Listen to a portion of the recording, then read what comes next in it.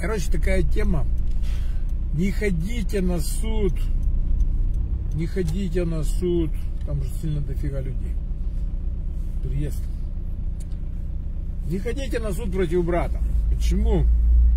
Кого-то кто-то обидел за какой-то пустяк, за показанный палец, за просто слово, за какую-то ерунду, которую ты считаешь сильно для себя важным.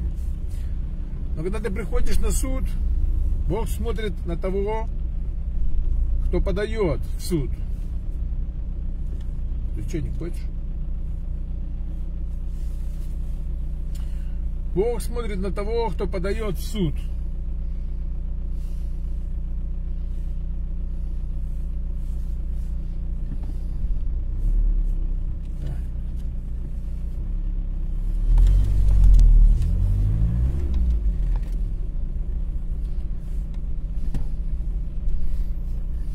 Бог смотрит на того, кто подает в суд. Кто ты такой? И начинает тебя исследовать. Реально. Почему ты такое себе возомнил? Почему ты не смог сам с ним разобраться?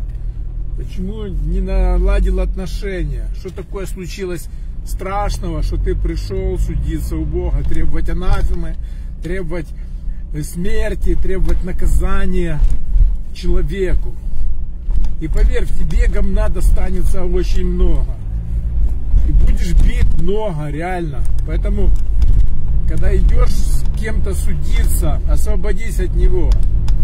Не иди к Богу, ибо тот, кто ведет человека, реально, он будет оценен Богом весьма строго, весьма изысканно. И не будет, знаешь, как бы милости такой. Что ты так человек возомнил о себе, что ты можешь какие-то требовать, требовать справедливости от кого-либо. Или ты уж совершенный. Поэтому не надо это. Не, ну хотите, пожалуйста. Ну, мой совет.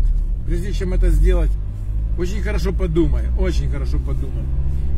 Не вылезет ли тебя боком твои анафемы, твои накажи обидчика, и прочие вещи. Ибо вот начнется реально с тебя, с того, кто это подает. Может, не, все, не так все плохо, может, не зря тебя кто-то обижает, может, не зря, может, ты сам виноват.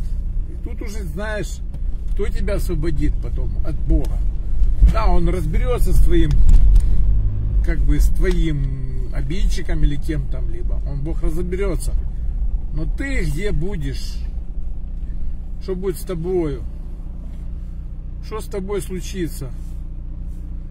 Когда ты взвешен будешь. Знаешь, надо же воздать, насколько тебя обидно. Вот Бог оценит, насколько это было правомерно совершено.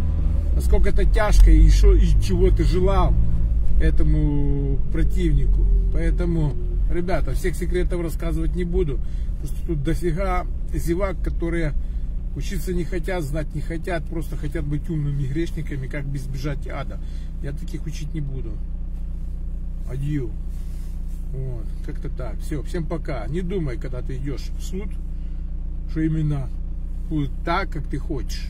Возможно, будет очень сюрприз будет.